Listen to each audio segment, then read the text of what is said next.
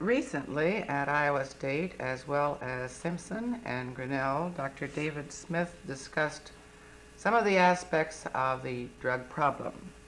Dr. Smith is medical director of the Haight-Ashbury Medical Clinic and consultant on drug abuse for the Department of Psychiatry at San Francisco General Hospital.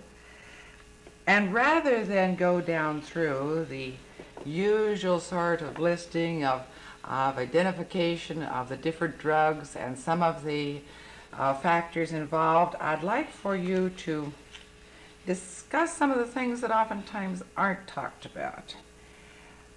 At what point is the accurate drug information essential for our young people in their developmental stage? well, I think the most important thing to understand is that any drug pattern is an interaction between a chemical, uh, personality, and a social environment. And therefore, when you're going to educate young people about drugs, you've really got to start uh, at a time before they start thinking about taking the chemicals or experiencing the social pressures that might lead them to, to use drugs. And I think that it should begin in, in elementary school. Uh, in the Bay Area, the decision to take drugs starts about the seventh grade. So obviously, if, if you're going to have a form of conceptual drug education that is meaningful, it has to occur before the seventh grade. But it really has to be not just, you know, illegal drugs. It has to also discuss what the whole act of ingesting a foreign chemical in your body means, what taking aspirin means, what smoking cigarettes means, what taking penicillin is. In other words, it has to be a conceptual thing that emphasizes all aspects of drug taking so that it's relevant for the young person when he is actually placed in a situation in, in which he might be tempted. And most of the young people get started on experimentation with illegal drugs because of curiosity, peer group pressure, and if you haven't worked with your young person and helped him make decisions about how to resist these things, then uh, your drug education hasn't been successful.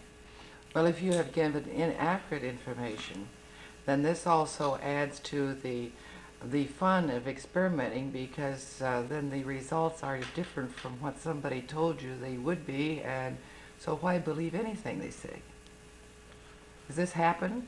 Well, this is uh, one of the big problems with drug education as it's currently formulated is that there's a great deal of misinformation.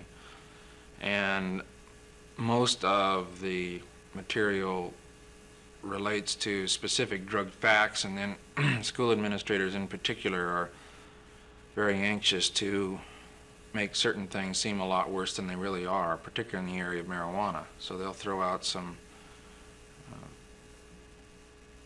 information that's not true, but it's scary.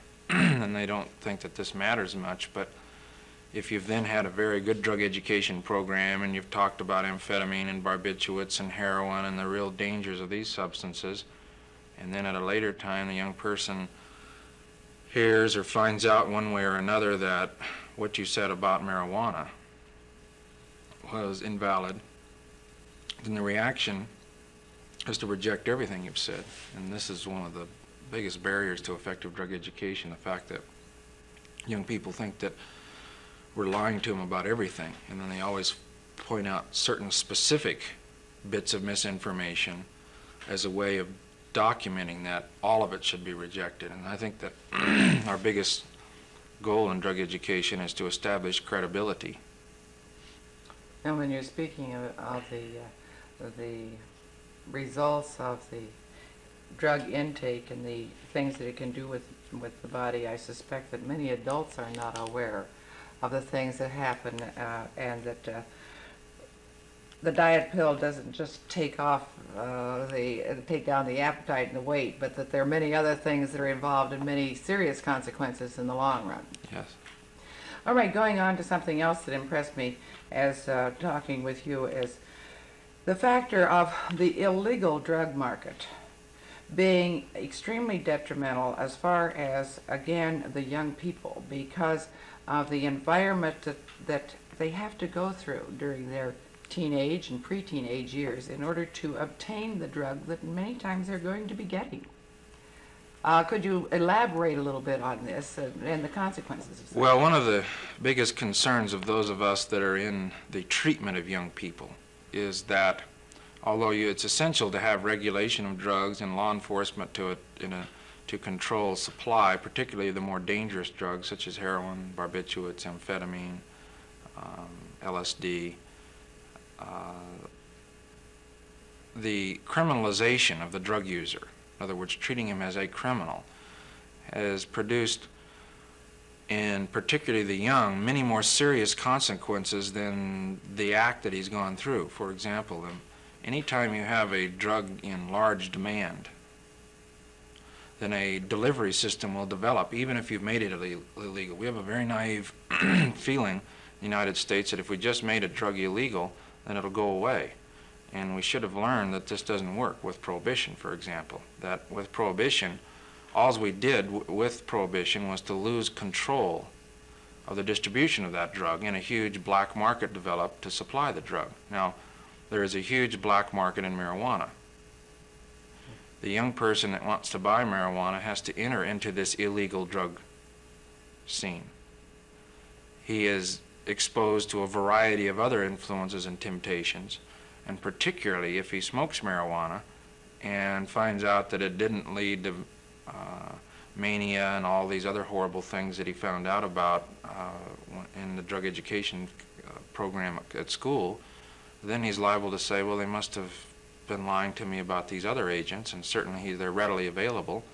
Uh, and then he goes on and experiments with these other things. In the Bay Area, for example, if you legalized marijuana, you would decrease its availability, decrease its availability to minors.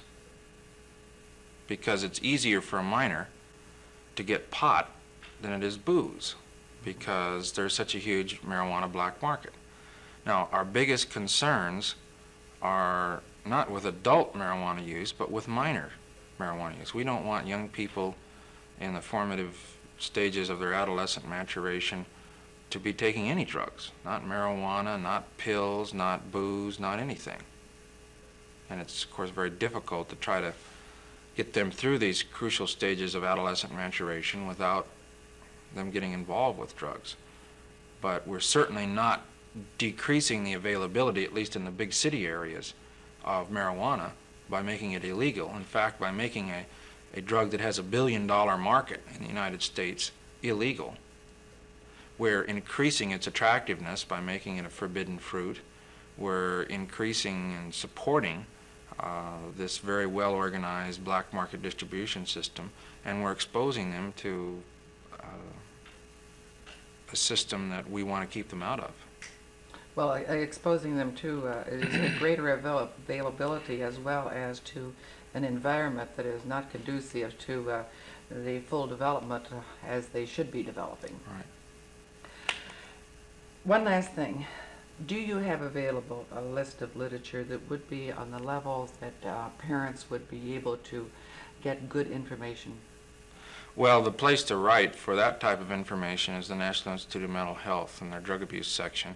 We have literature at our clinic uh, that's a little bit more sophisticated, but I think you can get the simple literature for for parents um, and for youth in large quantity from the National Institute of Mental Health, and they and they distribute it for free.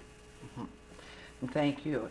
Our guest has been Dr. David Smith. He is medical director of Haight-Ashbury Medical Clinic and consultant on drug abuse for the Department of Psychiatry at San Francisco General Hospital. And thank you very, very much for taking the time.